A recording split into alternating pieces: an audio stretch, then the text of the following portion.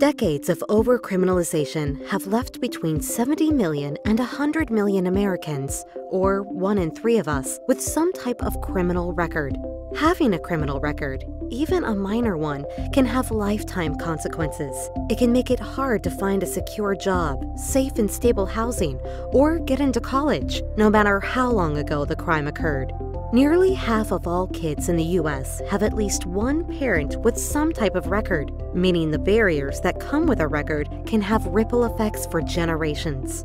In many cases, people are eligible to have their records cleared, but the vast majority don't ever get relief, whether because they can't afford a lawyer to pay the legal fees or figure out how to navigate the complex process. Many aren't even aware they're eligible. That's where clean slate policies come in. A clean slate allows certain types of records to be automatically cleared after a set amount of time has passed without a new conviction. That means your record isn't available to your future landlord or potential boss. Research shows why this makes sense.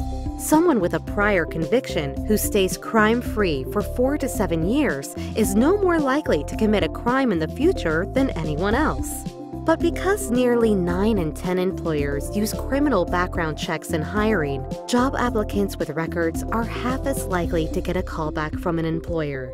As a result, any record, no matter how old or minor, can be a life sentence to joblessness.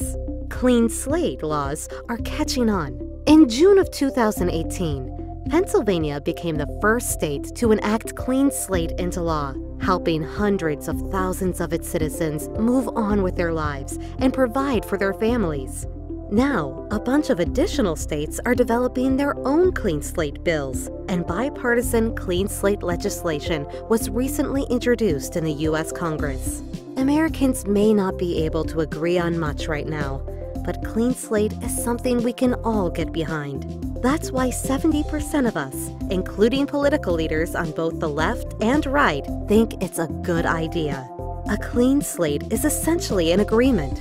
If you remain crime free, you will get a second chance. It's not just the fair thing to do, it's common sense.